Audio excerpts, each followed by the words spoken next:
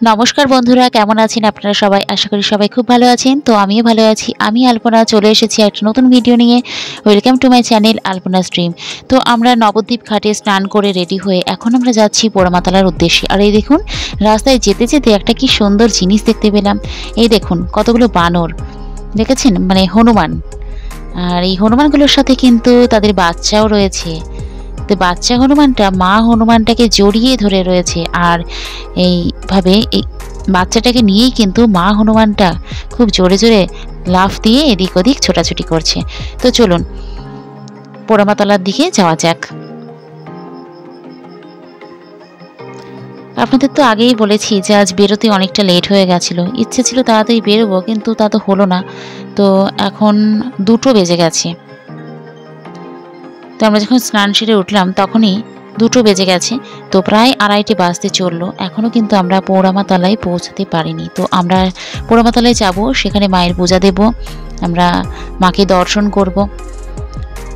তো মায়ের কাছে পূজাটা দেওয়া হয়ে গেলে তারপর আর কোনো তাড়াহুড়ো নেই। তারপর ধীরে সুস্থে বাড়ি ফিরবো।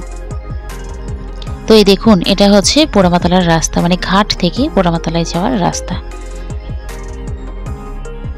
রাস্তা বেশ ভিড়। প্রচুর লোকজন, প্রচুর গাড়ি ঘোড়া আর বেশি এখানে টোটোর ভিড়। আরে দেখুন, রাস্তার দুই পাশে প্রচুর দোকানপাট। তো, আজ তেইশে জানুয়ারি, নেতাজি সুভাষচন্দ্র বসুর জন্মদিন। আজ আমরা এসেছি গঙ্গা স্নান করে মা পোড়ামাতলায়, মা ভবতারিণীর দর্শন করতে। ওই দেখুন, রাস্তার পাশে নেতাজির ছবিতে মালা দিয়েছে এবং পতাকা উত্তোলন করেছে। তো চলুন, একটু পা চালিয়ে হাঁটা যাক, নইলে অনেক লেট হয়ে যাচ্ছে। দেখেছেন রাস্তায় কতটা ভিড়? আমরা প্রায় চলেই এসেছি দেখুন। রাস্তার পাশে একটা কি সুন্দর দোকান রয়েছে। এখন সমস্ত কিছু শীতের পোশাকগুলো বেশি সেল হচ্ছে। আর শীত তো প্রায় শেষ হতেই চলল, আর একটা মাস এই দেখুন আরেকটা দোকান, মায়ের আশীর্বাদ, দোকানের নাম। এই দোকানেও বেশ সুন্দর সুন্দর জিনিস রয়েছে।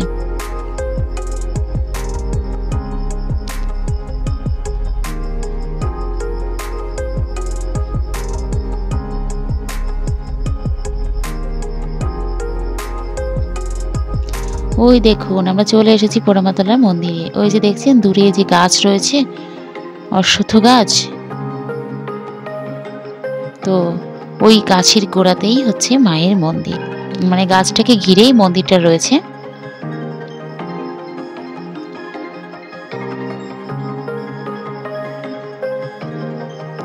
আমরা তো প্রায় চলে এসেছি মায়ের মন্দিরে, দেখুন।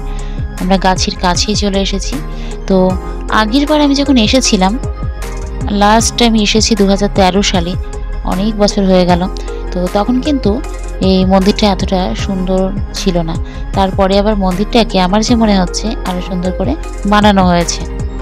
এই দেখুন, ওই যে পোড়ামাতালায় শিব মন্দির। তো মন্দিরের ভিতরে একটা বেশ বড় একটা শিব রয়েছে। ভিতরে গিয়ে আমি আপনাদের দেখা পরে দেখুন, পুরানো একটা বট না অশ্বথ যাই হোক, তো একটা গাছ রয়েছে। আর এই দেখুন, এখানে কিন্তু প্রচুর ভিড় আর জায়গাও কিন্তু কম। পুরো দোকানেই ভর্তি।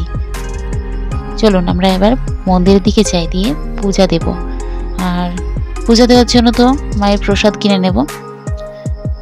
তো এখানে আসা মাত্রই দোকানদার কাকুরা কিন্তু সবাই ডাকছে যে, এদিকে আসুন এদিকে আসুন প্রসাদ দিন তো আমরা যে কোনো একটা দোকান থেকে মায়ের জন্য প্রসাদ নিয়ে নেব।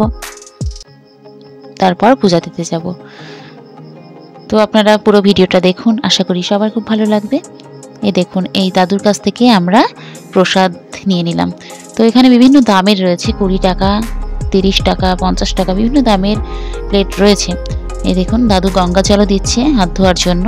তো আমরা হাতে আগে গঙ্গা জল নিয়ে নেব, তারপর প্রসাদটা নেব। আর এখানে আমরা আমাদের জুতোগুলো খুলে যাব, আর আমাদের ব্যাগপত্র যা কিছু আছে সবই দোকানে এই দাদুর কাছেই রেখে যাব।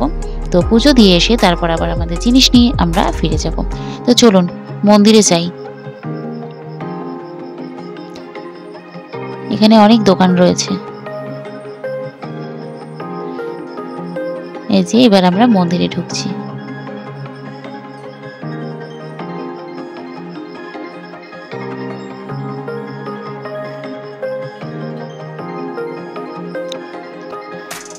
প্রতিদিন প্রচুর মানুষ আসেন এই মন্দিরে। মায়ের কাছে তারা প্রার্থনা করেন। মা সবার মনের ইচ্ছা পূরণ করেন। তো, ওই দেখুন, এখানে দুজন পুরোহিত রয়েছেন। তো, আমরা এবার মাকে আমাদের পূজাটা দিয়ে দেব। আর এখানে এই গাছের কোটরের ভিতর বেশ সুন্দর করে মন্দিরটা বানানো হয়েছে। তো এই গাছের কোটরের ভিতর রয়েছে একটা ঘট মানে মায়ের ঘট রয়েছে। ঘরটাকে এখানে পূজা করা হচ্ছে। আর এই মন্দিরের পাশেই একটা মন্দির রয়েছে, তো সেখানে রয়েছেন মা ভবতারিণী।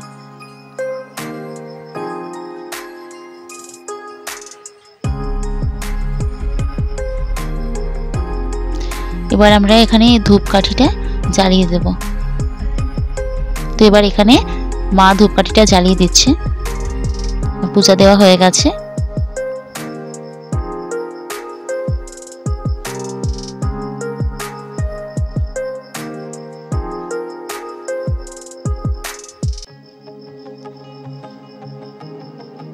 সারাদিন ধরেই এই মন্দিরে পূজা হয়। প্রতিনিয়তই বহু ভক্তরা আসছে, পূজা দিচ্ছে। তো সারাদিনই এখানে পূজা চলছে। মা তো ভীষণই ভয় করছিল যে এত লেট করে বেরোচ্ছি কি জানি, ঠিকঠাক গিয়ে পুজোটা দিতে পারব কি না তো যাই হোক, আমরা কিন্তু ঠিক টাইমে পৌঁছে গেছি। দেরি হয়েছে, তিনটে বেজে গেছে, কিন্তু তবুও এখানে কিন্তু খুব ভালোভাবে পূজাটা নেওয়া হচ্ছে। তো আমাদের পূজা দেওয়া হয়ে গেছে। এবার আমরা মন্দিরটা দর্শন করব, মাকে দর্শন করব, একটু ঘুরবো।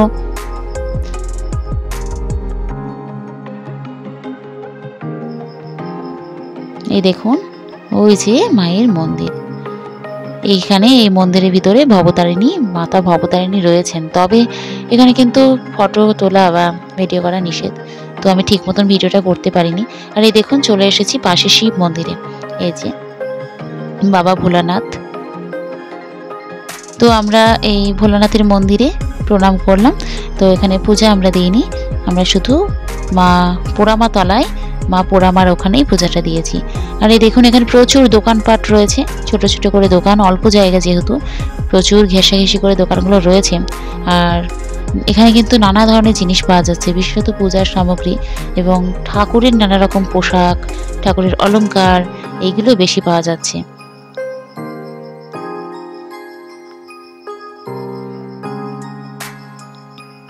আর প্রচুর তো ফুলের আর মায়ের প্রসাদের দোকান রয়েছে প্রচুর।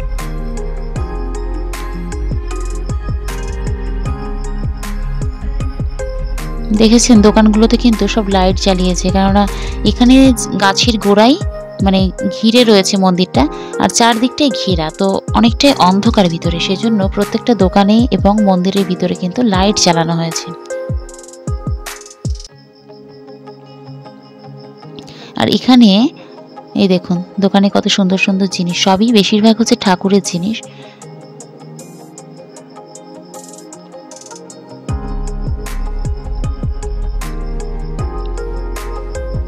ঠাকুরের সাজসজ্জা, পোশাক, টুপি, সোয়েটার আরও নানা জিনিস এখানে বিক্রি হচ্ছে।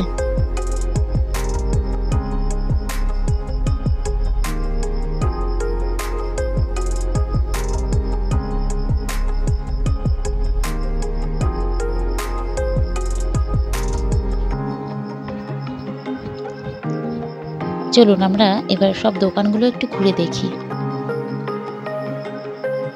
তো এখানে দেখেছেন কসমেটিক্সের দোকান। নানা রকম সাজ সামগ্রীর দোকান এখানে রয়েছে।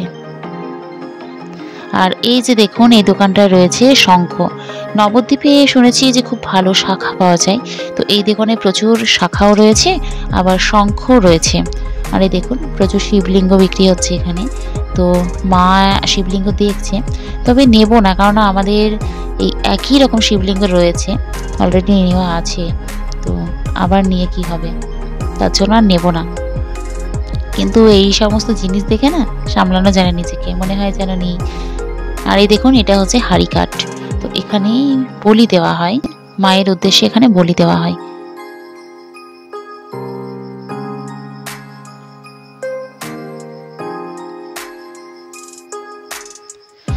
তো আমরা সকালে না খেয়ে এসেছি। মাকে পুজো দেওয়ার জন্য আমরা সকালে না খেয়ে উপবাস করেই এসেছি। তারপর গঙ্গা স্নান করেছি। তো বেলা তিনটে বেজে গেছি, তারপর মায়ের পুজো দিলাম এবং মায়ের প্রসাদ গ্রহণ করে জল খেয়েছি। কিন্তু দেখুন কি ঠাকুরের কৃপা, একটুও কিন্তু খিদে পায়নি বাড়িতে থাকলে খিদে পেয়ে যায়। তো মাকে পুজো দিতে এসে কিন্তু একটুও খিদে পাচ্ছে না, একটুও ক্লান্তি বোধ আসছে না। তো ঘোরাঘুরি তো অনেকই হলো। আর একটু আশপাশটা ঘুরে দেখব, তারপর বেরিয়ে যাব। বাড়িও ফিরতে হবে, অনেকটাই দেরি হয়ে যাচ্ছে। তবে সমস্যা নেই। এখানে মানে যাতায়াত ব্যবস্থা অনেকটাই উন্নত। তো নবদ্বীপ থেকে আমাদের প্রথমে কৃষ্ণনগর যেতে হবে, সেখান থেকে তারপরে আমাদের চাপড়ার বাস ধরতে হবে। তো ডাইরেক্ট আমরা শ্রীনগর বাস স্টপে নেমে যাব, সেখান থেকে কাছে আমাদের বাড়ি। আর এই দেখুন আমার পিছনে ফলের দোকান। তো আমরা এখন বেরিয়ে যাচ্ছি। তো এবার আমরা যাচ্ছি ঘাটে। তো ঘাট থেকে আমরা ফেরিঘাট পার হয়ে আমরা বাস ধরে বাড়ির উদ্দেশ্যে রওনা দেব।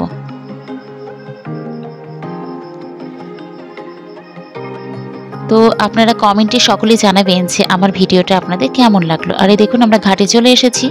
আর দেখছেন এই যে লঞ্চ স্টিমার রয়েছে, তো এইখান থেকেই কিন্তু মায়াপুর যাওয়া যায়।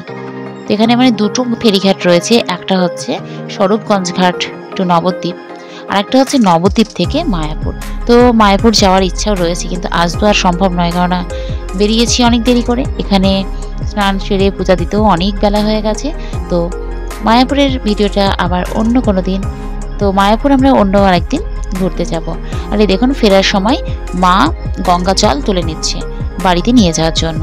আসলে জলটা স্নানের পরই আমরা নিই নি, কেননা জল অনেকটা ভারী হবে আর সারাক্ষণ বয়ে নিয়ে বেড়ানো যাবে না সেই জন্য আমরা ভাবলাম যে বাড়ি ফেরার সময় জলটা তুলে নেব। তো জল তোলা হয়ে গেছে, মা চলে এসছে, এবার আমরা চলে যাব।